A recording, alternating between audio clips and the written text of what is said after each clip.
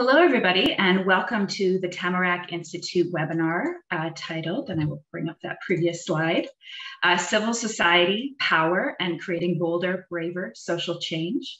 Today, we're joined by Sue Tibballs, Sarah Thomas, and Sylvia Cheuy.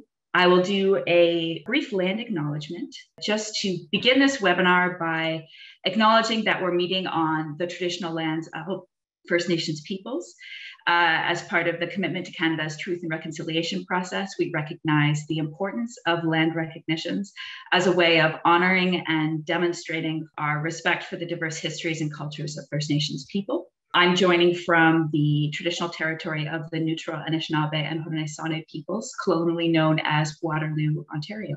Uh, we welcome you all to share in the chat box your name and where you are joining us from today. I will introduce Sylvia in a moment, but Sylvia, are you able to tell us who's joining us on the call today?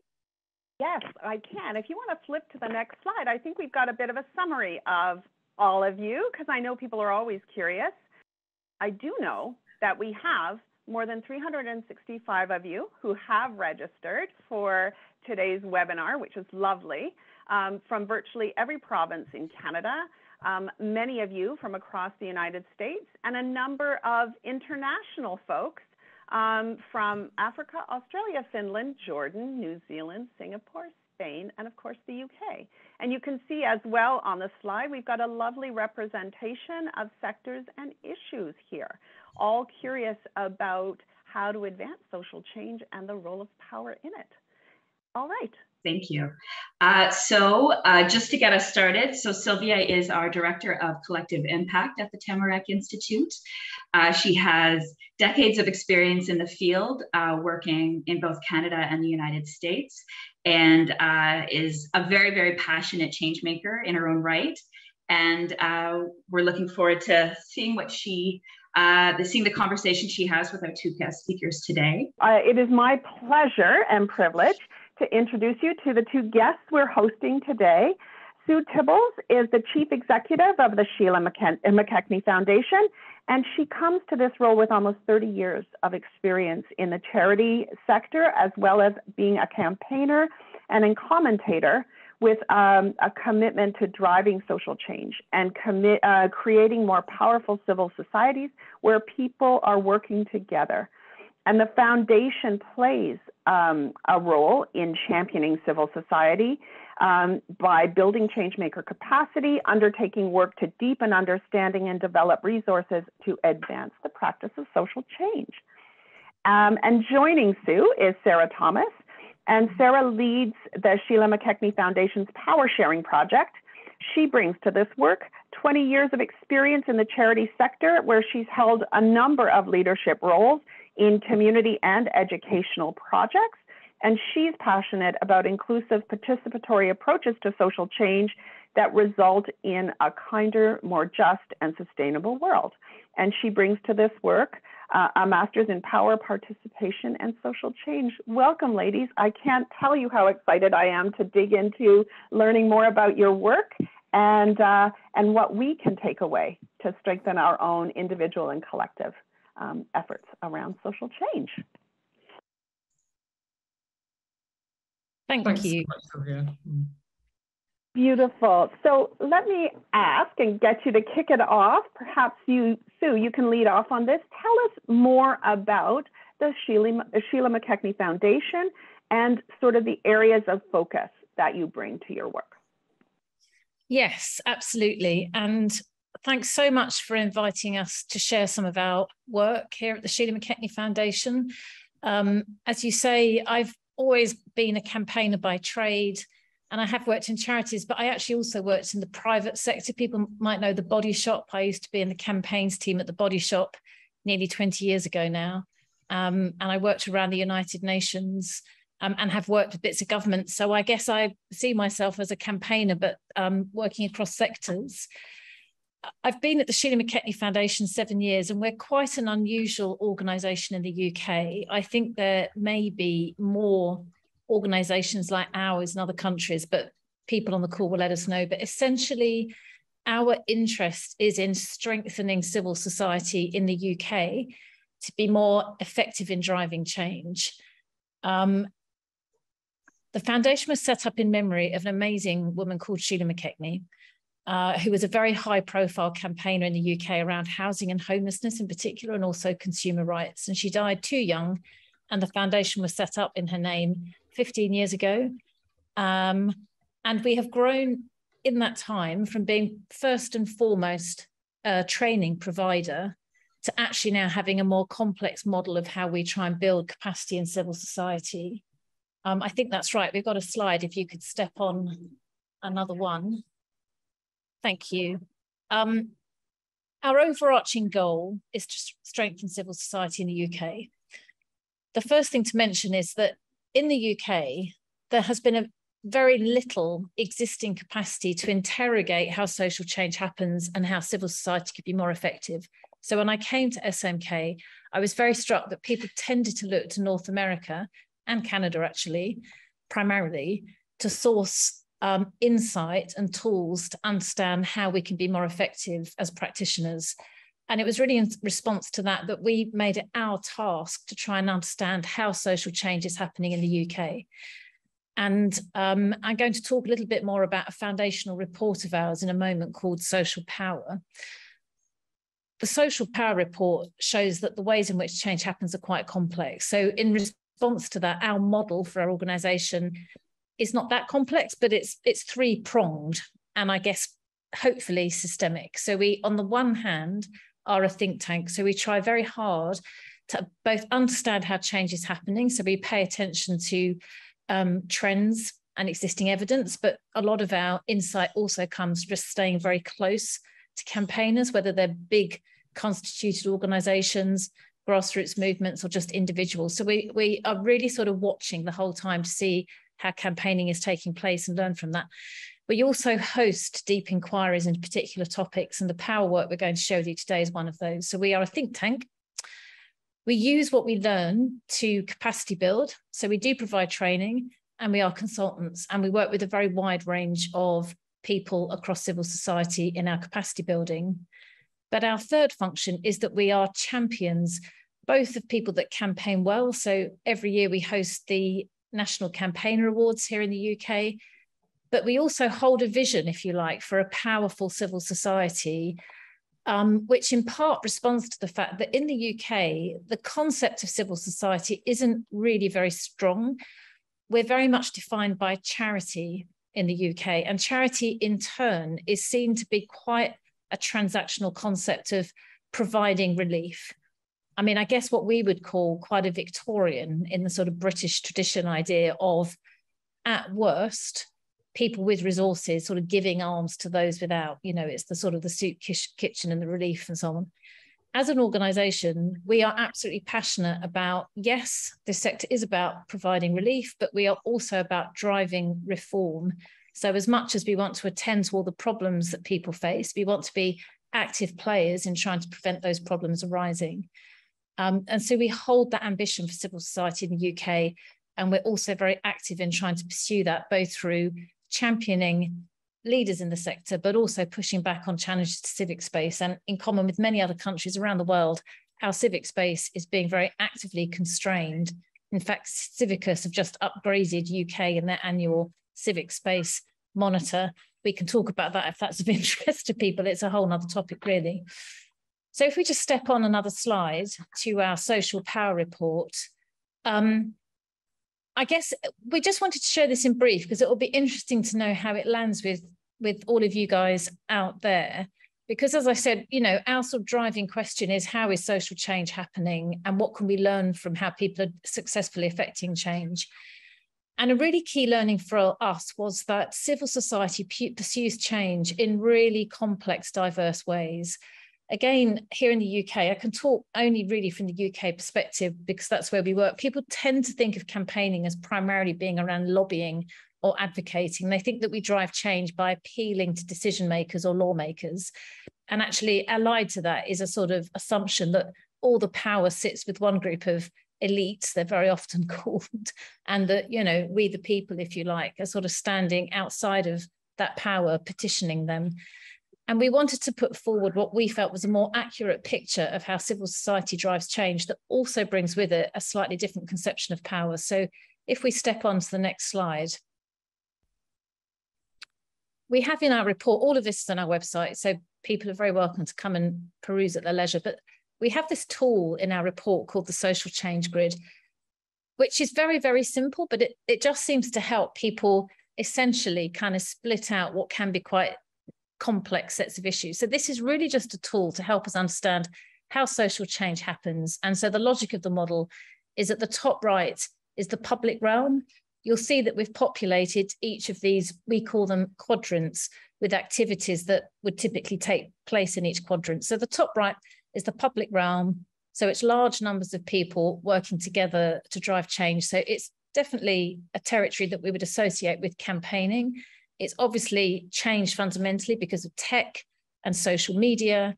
It's also, though, where we would have um, mobilization, where we would have protests and stunts.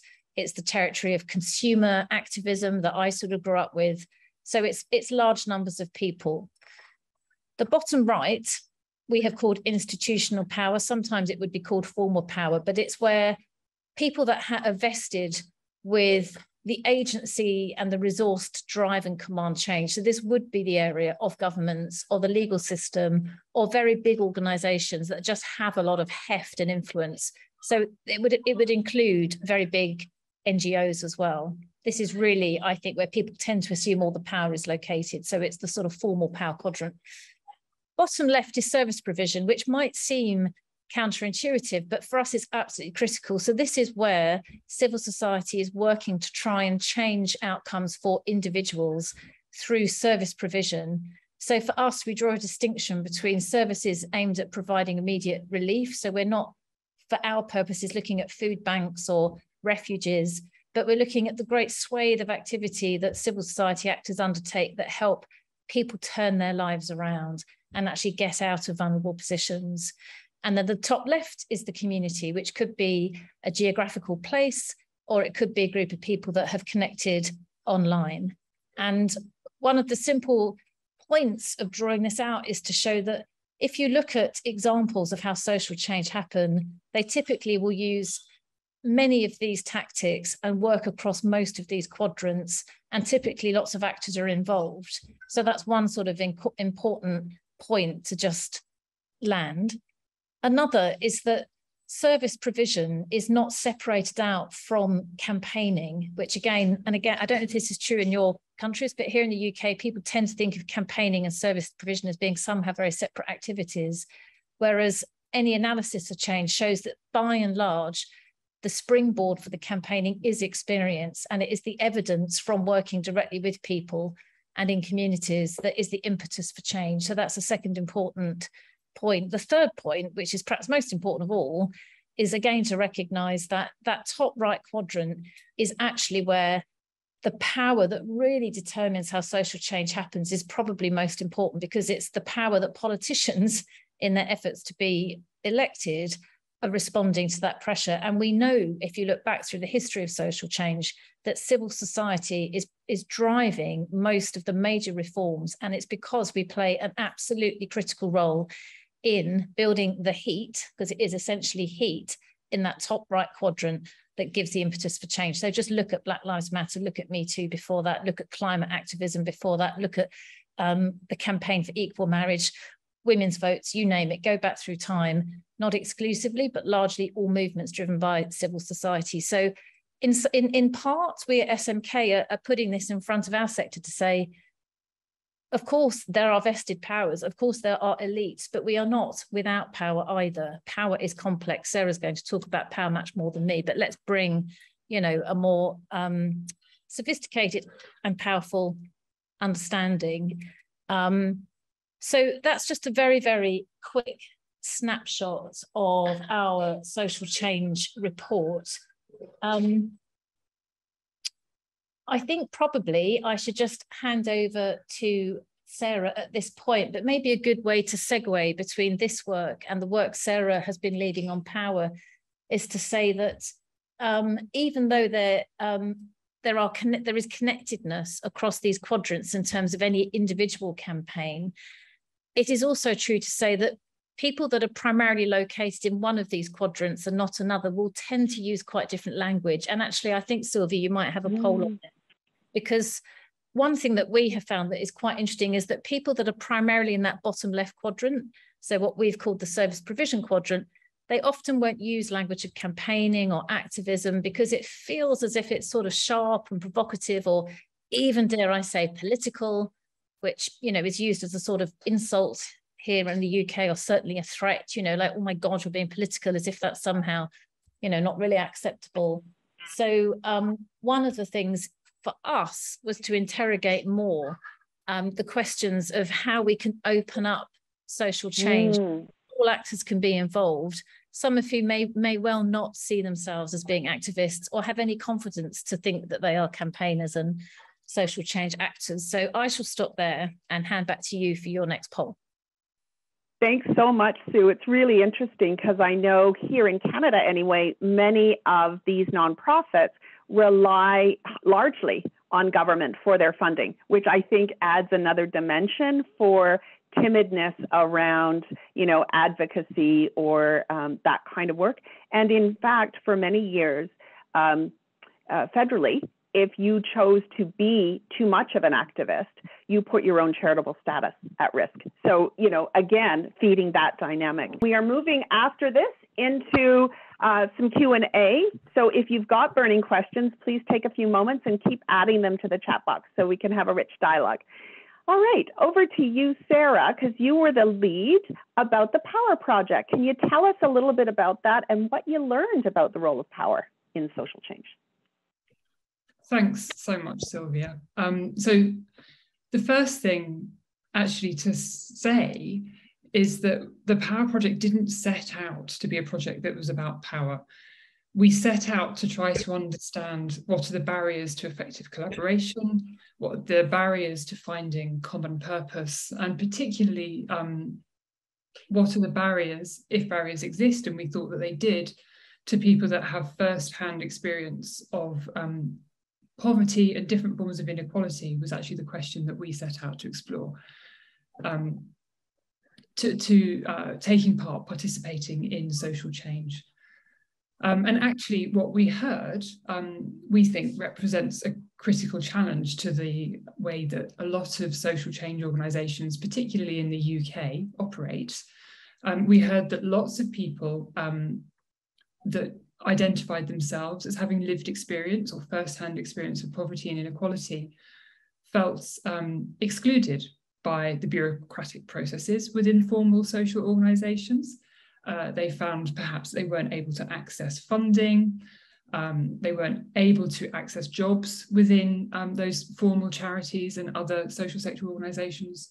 Um, and those that were engaging with charities from outside of the charities often told us that their stories were being used in ways that were potentially tokenistic or exploitative. So we were really clear, and we knew already from SMK's social power work that people with first-hand experience of injustice and inequality are already participating in social change. We know that all kinds of different people are involved in um, working in their communities or um, being involved in social movements in the public sphere and also using their experience you know some do manage to use their experience to get work in the more kind of formal bottom half of the social change grid those two quadrants in the bottom of the social change grid um, but we felt that um, those people that were managing to do that were perhaps um, the exception rather than the norm um, so um, we wanted to explore more what were the barriers to um, more effective collaboration in, in social change organizations. And what we found actually was it's all about power. So often when we go out, when we set out to understand how to drive change, how to affect change in society, we know that that is about growing power or building power, you know, working in different ways to generate more power in order to affect more change. But what we found in the Power Project was that actually some of the barriers to effective collaboration, some of the barriers to working in really true solidarity with people with very different forms of backgrounds and experience, um, that also comes down to power. And so perhaps if we can develop a more nuanced understanding of power, then it might help us to develop more effective, more collaborative relationships that will then, in the end, enable us to drive more effective, more powerful social change within the civil society sector. So, um, we really do believe that there's a role for the formal social change organisations. You know, we don't think that the burden of change can lie solely on the shoulders of those that are most um, disadvantaged or affected by injustice or inequality. Um, but we also have found very clearly that um, those social change organisations need to do better. They need to reimagine their work. And a lot of that means reimagining the relationships that they hold with people um, that they're working with in communities or with individuals. So um, we set out then to develop a more nuanced understanding of power um, and what we found, you know, we did a lot of research. We spoke to a lot of different people um, about their experiences of engagement. We spoke to academics. We spoke to all kinds of different people from all kinds of different backgrounds and communities. And the first thing to say is that a lot of the way in which we usually talk about power in society, certainly in the UK, can be misleading. So we often talk about speaking truth to power, and we may be talking about those institutions of power, of course, in that situation.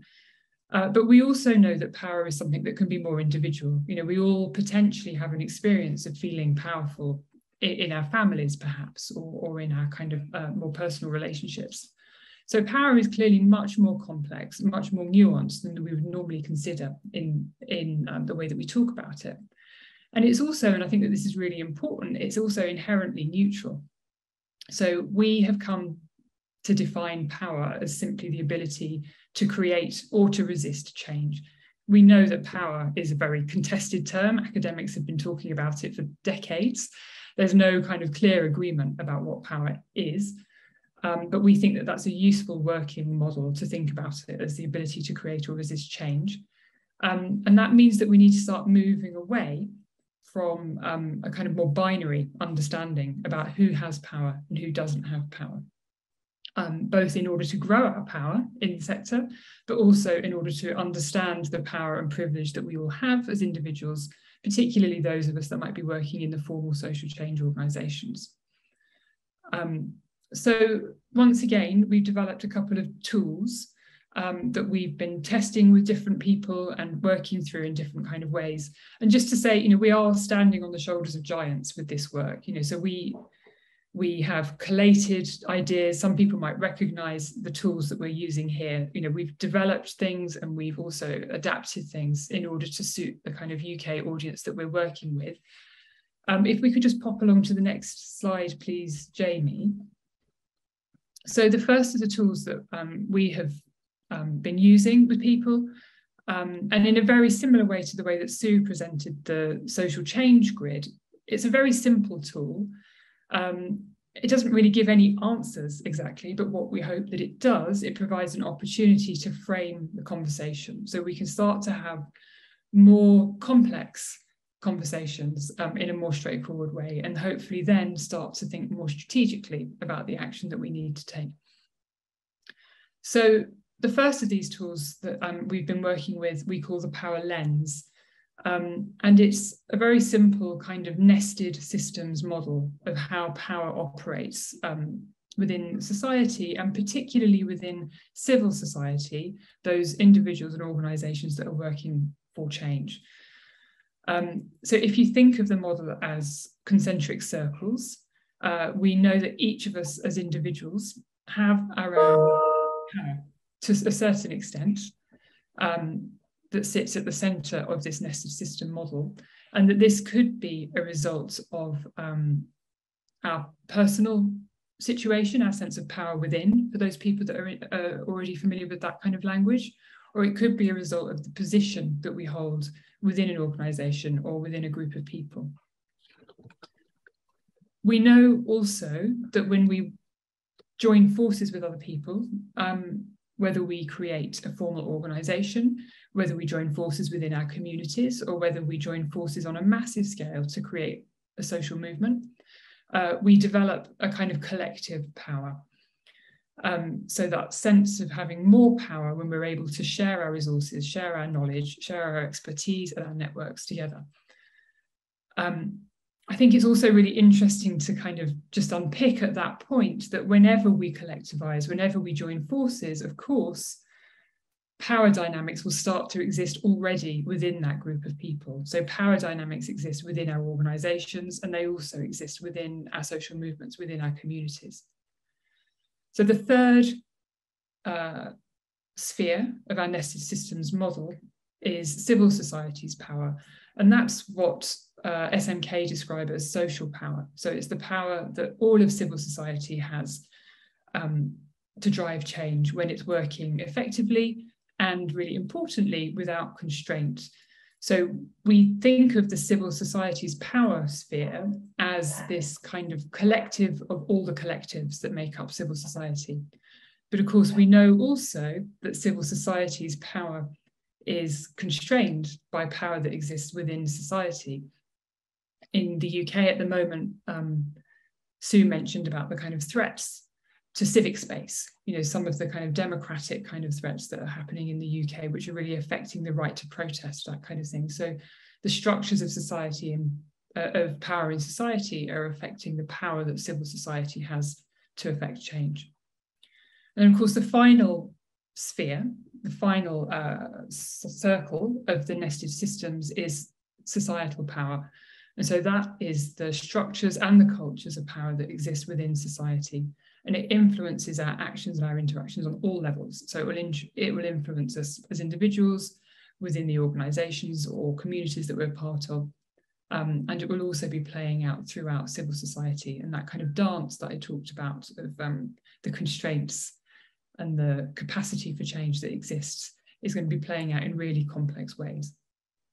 So we think that most of this stuff is stuff that people already know, but we hope that by setting it out in this kind of way as a lens, it helps to identify um, the different kinds of power that's at play within our groups or within us all as individuals um, and helps us to kind of create a more strategic response. So we're just going to have one more um, tool to share with you. Um, if we could just go along to the next slide, thank you.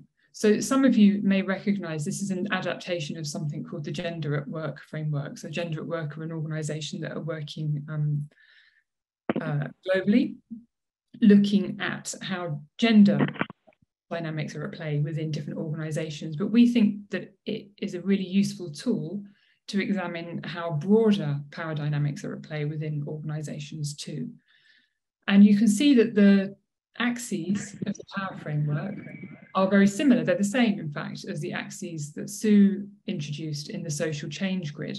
But at the moment, the way that we're playing with this tool is to think about how power is at play within our organizations, within our, um, our collective uh, groups that are seeking to bring about change so that um, we can begin to understand more consciously how power dynamics might be affecting the ability for different people to get involved in the conversation, for different people to get involved in participating in social change or within our organisations.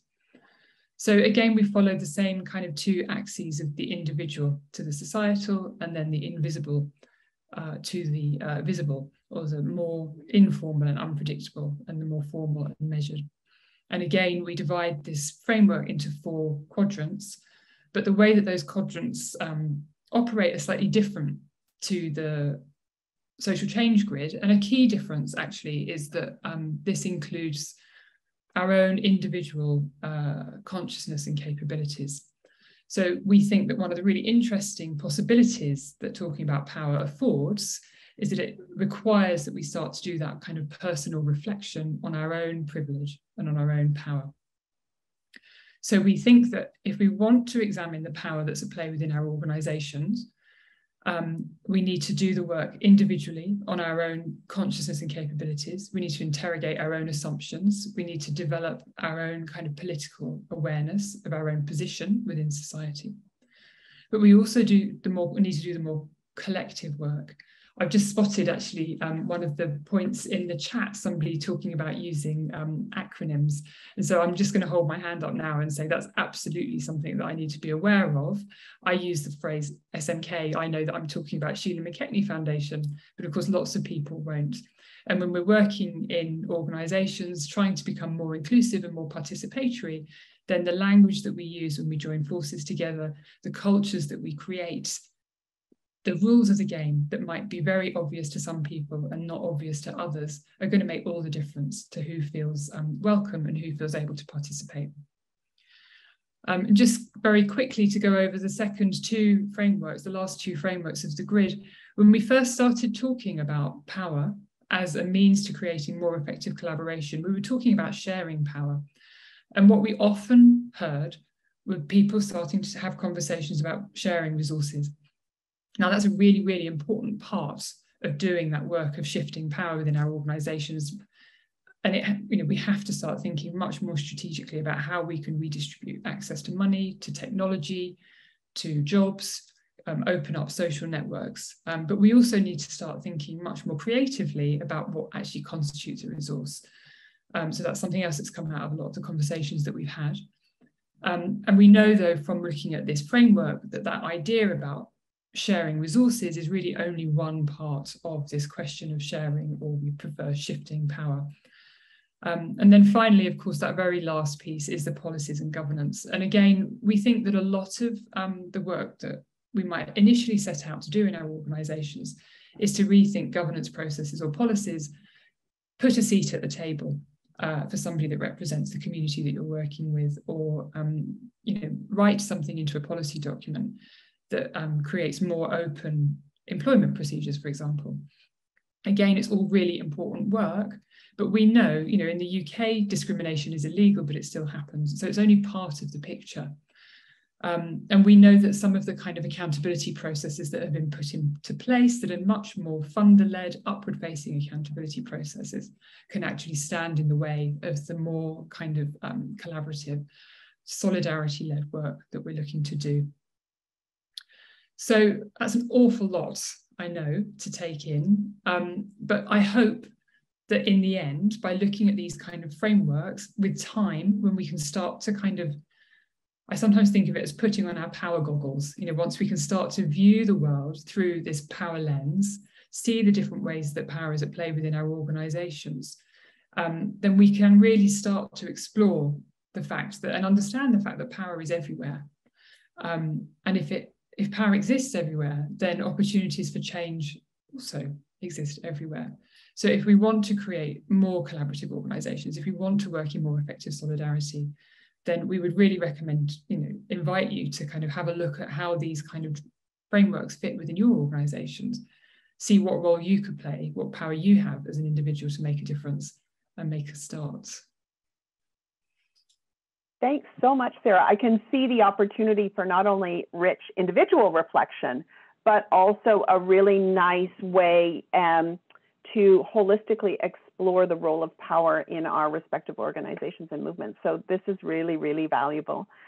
Um, my question, which kind of synthesizes both um, your work around power and also around social change, what, um, how do you think change makers need to see our work differently if we're really going to support civil society to be bolder and create braver social change.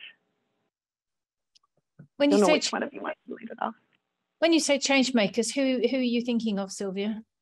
I think whoever designates themselves as that. Sometimes we see change makers advocating within respective organizations, be they foundations or um, you know, within government, within their respective organizations, but it's also ordinary people, right, who want to be part of a broader social movement for change. So it really is whole, I would view it as holistically as possible. We all contribute to this collective work to advance um, society for the better. So how do we, as we approach this work, need to think broader, more differently, to really kind of realize the full potential, I guess, of social change and uh, power, harnessing that power, every like the whole spectrum. I know it feels like a complex question, but that's okay. No, and we would completely row in with your understanding of change maker as there are many, many positions and, and roles for people to do that.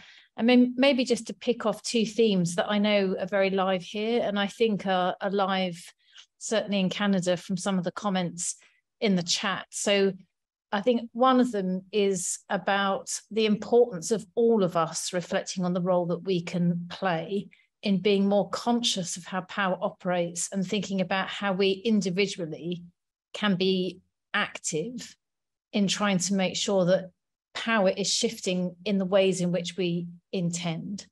Um, as you've understood from the way in which we've shared this work, we're very actively discouraging a sort of binary of giving up power. We even rejected the language of sharing power we found it very difficult to find the right language for the work because much of the terminology in, that is at play is either predicated on a sort of binary or having it or not having it, which is where even sharing power, we felt that we heard, for example, funders talking about giving up or sharing power as if it would sort of all that they had to do was just pass everything down to the, the people directly affected by issues, say, and that that was that was the responsible thing for them to do whereas we want to say that's not honest because you do hold powers beyond just the money that you might pass over but you know um, it's as Sarah said earlier, nor is it the right thing just to sort of think, well, look, we'll just step out of this and we'll let the people directly affected sort of somehow sort it out. So everyone needs to play their part. And I guess what we're trying to encourage is a more sophisticated understanding of how that works, particularly with this tool that's still on the screen. I mean, the other thing I might just reference is some of the stuff that is at play between activists and between particularly the grassroots and constituted organizations, where there is, for many understandable reasons, quite a strong challenge around the legitimacy of people in paid roles, people in constituted organizations, and certainly hear a very live conversation about the degree to which NGOs, constituted organizations are part of the solution or part of the problem. And I think that's a really, really tough challenge for those of us that are paid and in professional roles in constituted organizations. And honestly, you know, I find myself torn because as a campaigner and in my youth, you know, a shaven headed, quite loud, quite at times aggressive, not very balanced, noisy young person, I'm all for that kind of noise and challenge and disruption.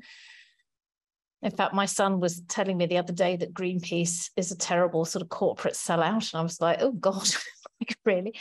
At the same time, I think, you know, we believe that the reasons why movements end up being constituted, the reason why organizations end up having hierarchies, the reasons why they have policies, why they have governance is often learnt through actually conflict and recognizing that you need boundaries and you need clear rules and lines of accountability.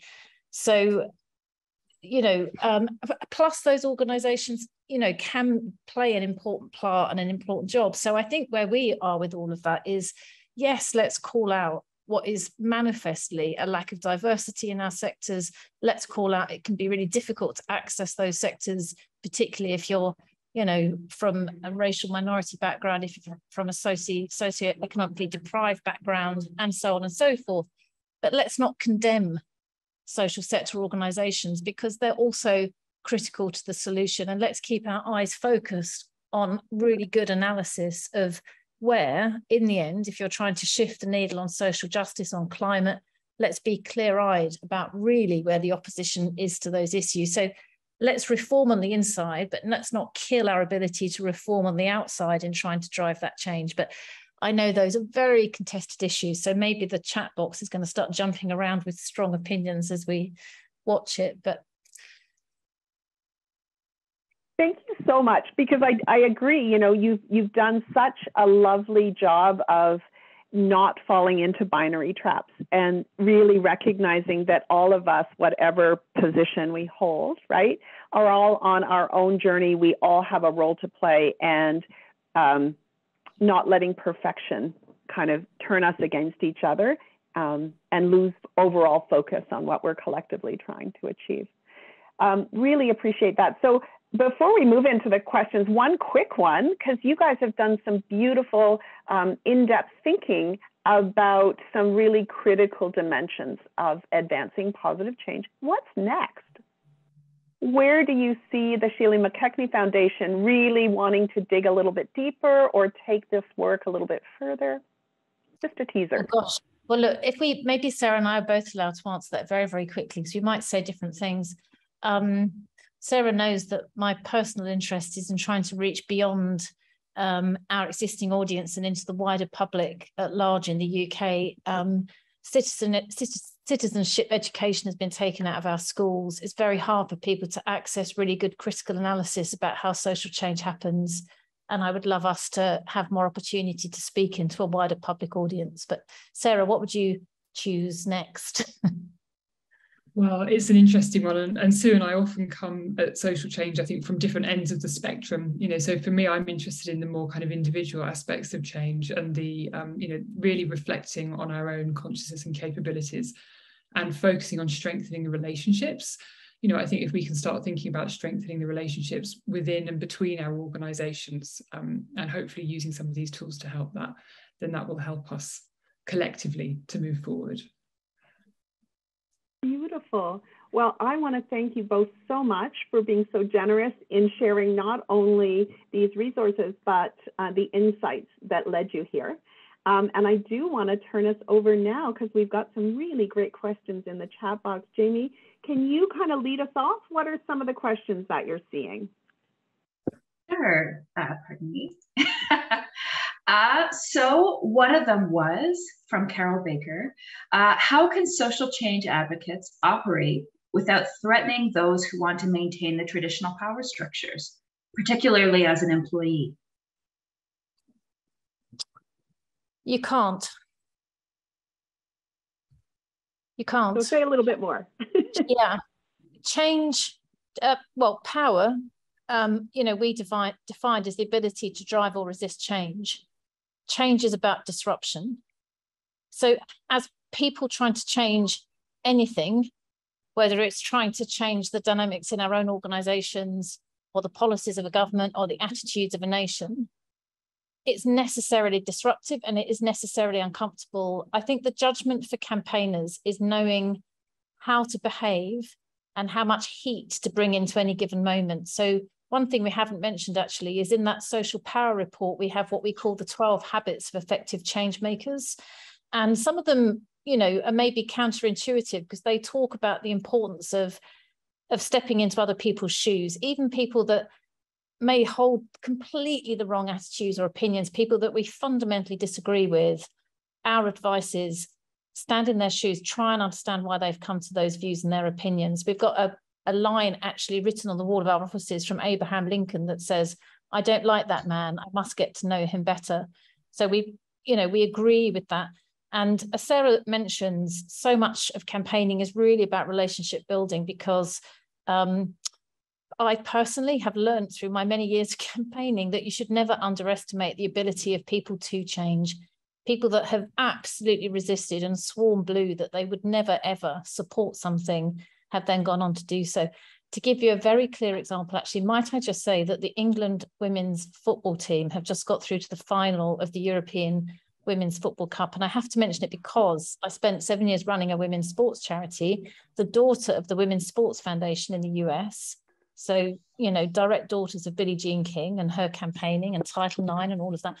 Um, the sports sector, even just 10, 15 years ago, was absolutely adamant. There was no audience for women's football obviously a lot of people thought women couldn't play.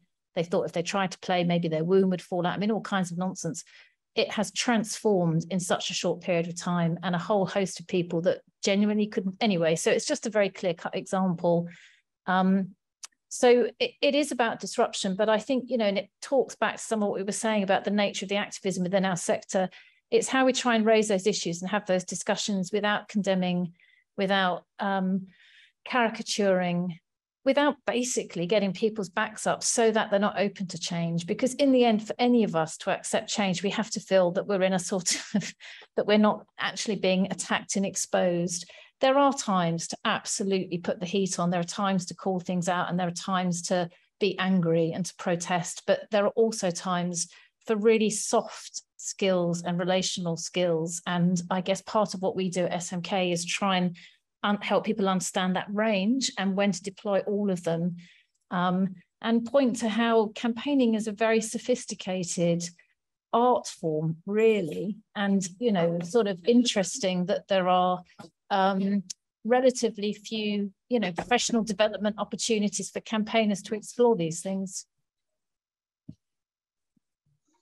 That is great. uh, Sylvia, I'm gonna I'm gonna look at the one of the next one. Uh, we have two comments that relate a little bit to funding and and and, and money as as a form of power.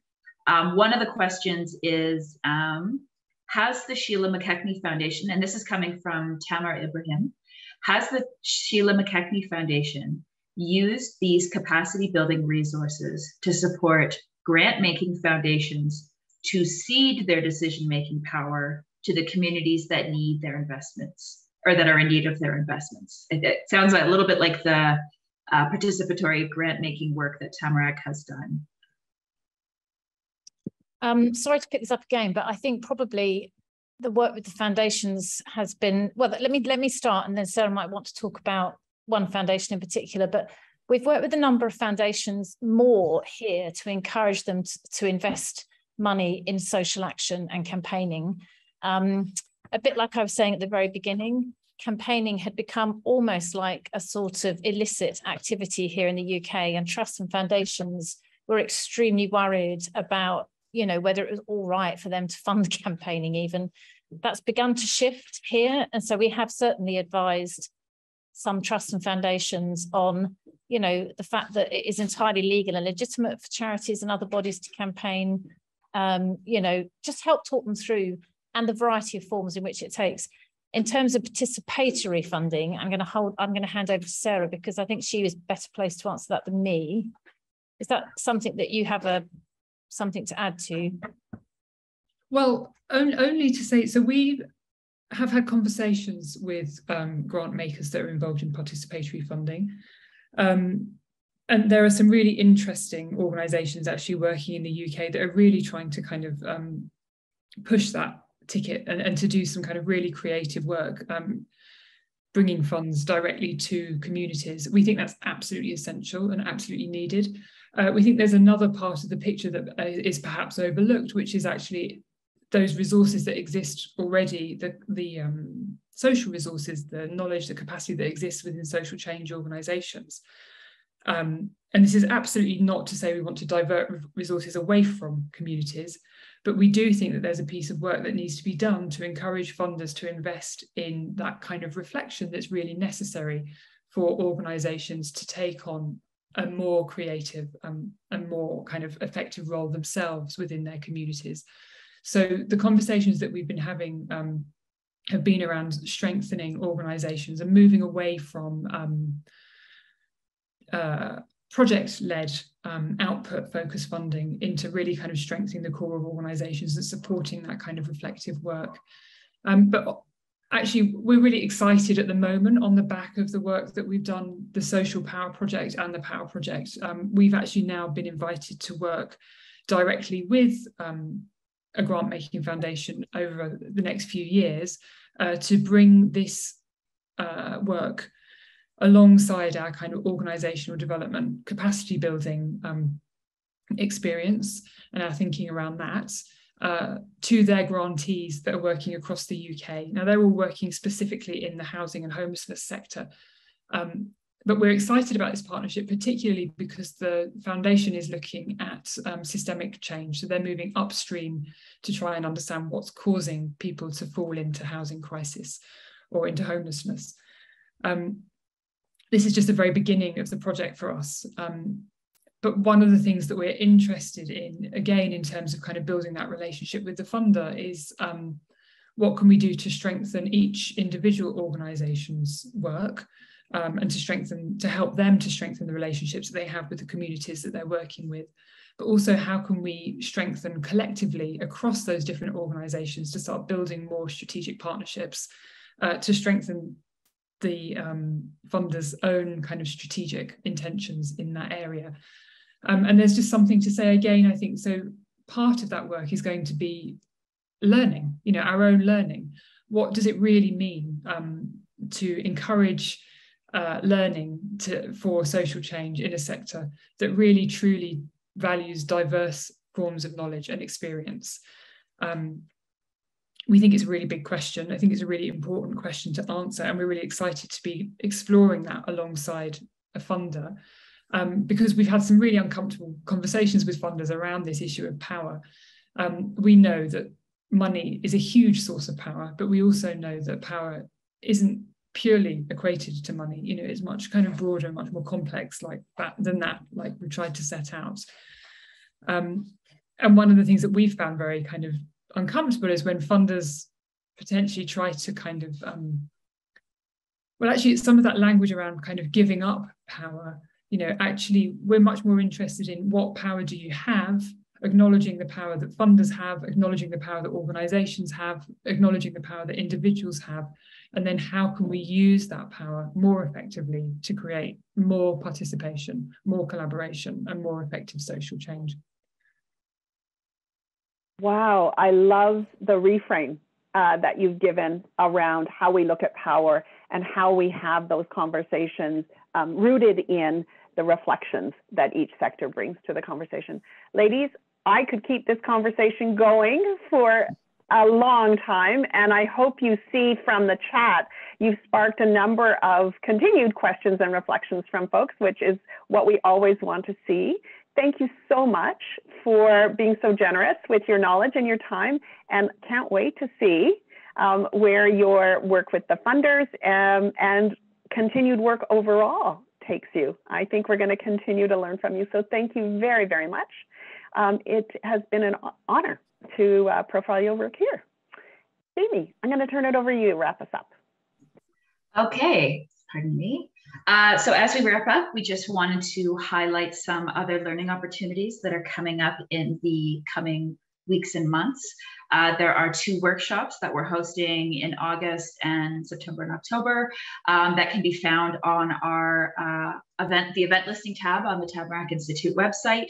One is Turf, Trust, and Virtual Collaboration, which I believe our co-CEO Liz Weaver hosts. Um, and the other is on co-design.